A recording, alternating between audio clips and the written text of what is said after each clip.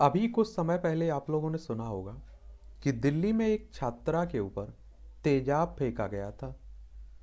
और जब उसे गिरफ़्तार किया गया तेजाब फेंकने वाले को तो उसने बताया कि उसने ऑनलाइन तेजाब को खरीदा था, उसके बाद ये प्लान बनाया था। तो सबसे बड़ा सवाल ये उठता है, क्या ऑनलाइन तेजाब बेचना कानूनी है? और इसके लिए कानून क्या कहता है? और सुप्रीम कोर्ट ने इस पर एक फैसला भी दिया था। उस फैसला के बारे में भी जानना चाहिए आपको। तो इसके बारे में एक सामान्य जानकारी हम लोग देख लेते हैं इस कानून के बारे में। और दिल्ली को अगर आप लोग देखें तो हमारी राजधानी है और आप सभी जानते हैं कि अरविंद केजरीवाल यहाँ के मुख्यमंत्री हैं, क्योंकि केंद्र शासित प्रदेश है आपका। नई दिल्ली इसकी राजधानी है। विधानसभा में सत्तर सीटें हैं, राज्यसभा में आपकी तीन सीटें हैं, लोकसभा में चार लोकसभा में सात सीटें देखने को मिलेंगी, कहाँ? दिल्ली में। और उसके बाद आप देखेंगे कि इस मामले में महिला और मानवाधिकार आयोग ने ऑनलाइन तेजाब बिक्री के लिए कंपनियों को नोटिस भी जारी किया है।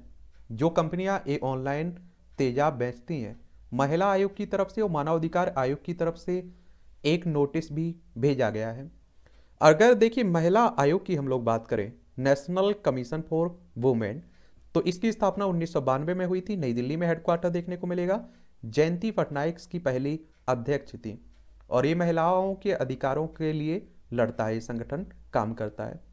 वहीं मानव अधिकार आयोग की बात करें तो ये मानव सभी लोगों के अधिकारों की बात करता है और national human right commission of India की बात करें तो इसकी स्थापना 12 अक्टूबर उन्नीस सौ तिरानवे में हुई थी। नई दिल्ली में हेडक्वार्टर देखने को मिलेगा।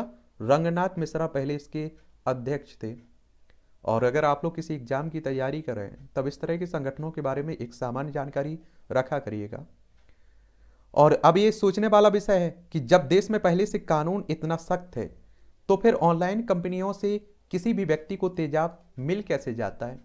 और अभी तक इस तरह की बिक्री पर इसके पहले एक्शन क्यों नहीं लिया गया? क्या इस तरह के हादसे का इंतज़ार किया जा रहा था?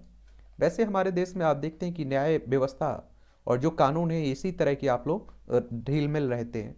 आप देखते हैं कि जब तक वो घटना ना हो जाए, दुर्घटना ना हो जाए, तब तक ना तो हमारी पुलिस व्यवस्था जागती है, ना ही आप देखिए न्यायपालिका जागती है। देश में तेजाब बिक्री से संबंधित अगर कानून की बात करें तो दरअसल 2013 में सुप्रीम कोर्ट ने लक्ष्मी बनाम भारत संघ बात का निर्णय सुनाते हुए, एसिड की बिक्री के लिए कुछ नियम तय किए थे। और यहाँ सुप्रीम कोर्ट की बात हो रही है। सुप्रीम कोर्ट, आप सभी जानते हैं कि हमारी सर्वोच्च अदालत है और संविधानिक संस्था है। संविधान के अनुच्छेद 124 के तहत इसकी स्थापना की बात कही गई है और 28 जनवरी 1950 में इसकी स्थापना हुई थी। केंद्र और राज्य, केंद्र सरकार और राज्य सरकार को इस नियम के पालन के लिए निर्देश भी दिए गए थे और सुप्रीम कोर्ट के निर्देशों को आगे बढ़ाते हुए भारत सरकार ने एक परामर्श जारी किया था और इस परामर्श में तेजाब बिक्री को रोकने के लिए और पीड़ितों के पुनर्वास के लिए सभी राज्यों और केंद्र शासित प्रदेशों को सलाह भी दी गई थी। और कहा गया था कि तेजाब से होने वाले हमलों में कमी लाई जाए और पीड़ितों के उपचार की व्यवस्था की जाए और साथ ही तेजाब हमले के पीड़ितों के पुनर्वास के लिए प्रभावी कदम उठाए जाएँ। सुप्रीम कोर्ट ने तेजाब बिक्री के जो मानक बनाए थे, वो क्या क्या मानक हैं, इन्हें भी आप लोग देख लीजिएगा। इसमें सबसे पहले तो अगर आप देखिए किसी को तेजाब बेचना है तो उसके लिए लाइसेंस लेना होला। बिना लाइसेंस के तेजाब नहीं बेचा जा सकता है। और लाइसेंस के बाद भी तेजाब को एक सीमित मात्रा में ही बेचा जा सकता है। अगर दुकानदार मानक से ज़्यादा तेजाब रखेगा तो उसके खिलाफ कानूनी कार्रवाई की जा सकती है। तेजाब जिसे खरीदना है, उसकी आयु 18 से कम नहीं होनी चाहिए और तेजाब खरीदने वालों को दुकानदार के पास उसका पहचान पत्र जमा कराना होता है। साथ ही वह तेजाब खरीदने का कारण भी लिखवाएगा वहाँ। यानी कि जिसे तेजाब खरीदना है तो उसे अपना पहचान पत्र जमा करना होगा। और तेजाब किस लिए खरीद रहा है, वो भी लिखवाना होगा से और विक्रेता को पंद्रह दिनों के भीतर एसडीएम की यहाँ अपने एसिड के स्टॉक को बताना होगा। और इन नियमों का उल्लंघन करने वालों को पचास हज़ार रुपया, पचास हज़ार का जुर्माना भरना पड़ेगा। लेकिन आप देखिए, जो नियम तय किए गए हैं, इन्हें कोई दुकानदार नहीं मानता होगा। कोई ना तो आप देखेंगे, डॉक्यूमेंट जमा करता होगा, पहचान पत्र। और ना ही आप देखिए उससे कारण पूछता होगा कि किस लिए आप एसिड खरीद रहे हैं। अगर तेजाब बिक्री से संबंधित कानून की बात करें तो तेजाब बिक्री राज्य सरकार के क्षेत्र अधिकार का विषय है। सातवीं अनुसूची आप लोग सुनते हैं ना राज्य तो राज्य सूची का विषय है। यानी कि इस पर कानून राज्य सरकारें ही बना सकती हैं। पॉइजन एक्ट 1919 के तहत राज्य सरकारों को धारा छह के तहत सजा को बढ़ाने और जुर्माना लगाने का भी अधिकार है। और इसके साथ ही पुलिस और लोक व्यवस्था भी राज्य का विषय है। तो इस कानून का पालन करवाने का भी अधिकार राज्य को ही है।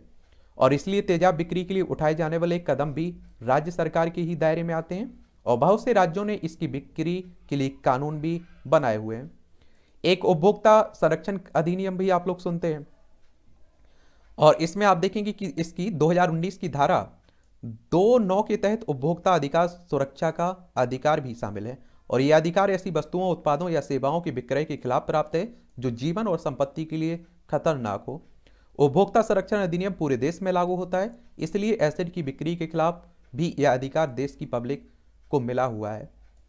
अगर ऑनलाइन बिक्री की बात करें तो उपभोक्ता संरक्षण ई कॉमर्स नियम 2020 की धारा चार तीन के अनुसार कोई भी ई कॉमर्स यूनिट किसी भी तरह का ऐसा अनुचित व्यापार व्यवहार नहीं कर सकती है, जो देश हित में ना हो।